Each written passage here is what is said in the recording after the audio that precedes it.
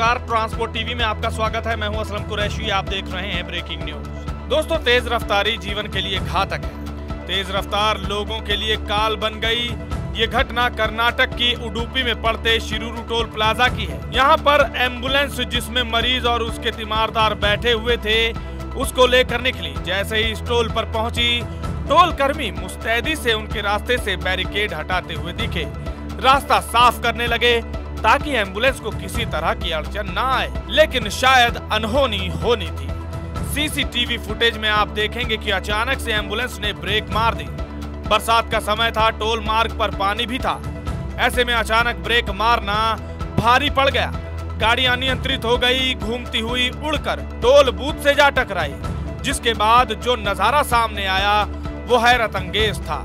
Ambulance के अंदर बैठे मरीज़ और उनके तीमारदार उड़ते हुए बाहर आ गिरे। वाकई में ये नज़ारा दिल दहला देने वाला था। एंबुलेंस उड़ती हुई नज़र आई। इस हादसे में मरीज़ समेत चार लोगों की मौत हो गई। अब दोष आप किसको देंगे? चलिए, अभी दृश्य को एक बार फिर से देखिए सीसीटीवी के दूसरे एंगल से, जिसमें ये बात सामने आई कि इस टोल बूथ के पास रोड पर एक गाय बैठी हुई थी। उस ही मार्ग पर जहाँ पर एंबुलेंस आ रही थी।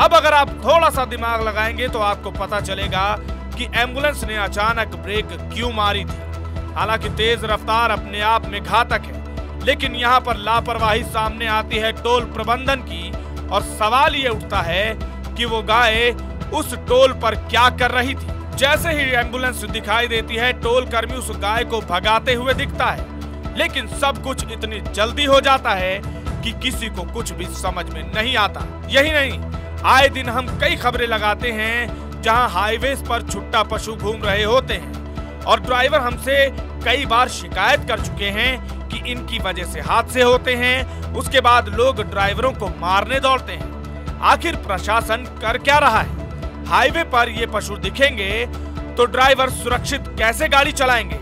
ये एक बड़ा सवाल है। सोचिए जरा सी लापरवाही चार लोगों की जान ले गई। क्या ऐसी लापरवाही पर कार्रवाई नहीं बनती? ये थी आज की ब्रेकिंग न्यूज़ देखते रहिए ट्रांसपोर्ट टीवी। अब गड्डी लेके। उस्ताद जी हाँ जी। नया रूट है। आज कौन से ढाबे पे रुकेंगे? हम्म। ट्रांसपोर्ट टीवी पे देखा था।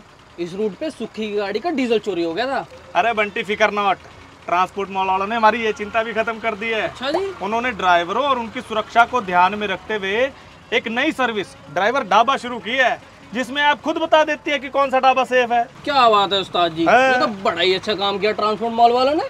और नहीं तो क्या? बस ट्रांसपोर्ट मॉल ऐप खोलो अपनी लोकेशन और रूट के हिसाब से ढाबा चुन लो। बिल्कुल सही कहा उस्ताद जी। मुझे ऐप पर एक ढाबा भी मिल गया है। हम्म। पाँच किलोमीटर पर एक सिल्वर ढाबा और दस किलोमीटर पर एक गोल्ड कैटेगरी का ढाबा। वहीं चलता है उस्ताद जी। मैंने तो लोकेशन भी लगा दी है। चल फिर अब अपना अगला स्टॉप भी वही होगा। अरे वाह उस्ताद जी। अरे वाह। पक्की parking CCTV camera security guard कमाल ही कर दिया ट्रांसपोर्ट मॉल वालों ने। और सबसे बड़ी बात ढाबा ढूँढने में कोई दिक्कत भी नहीं हुई। चल फिर अब रोटी खाते हैं। चलो जी।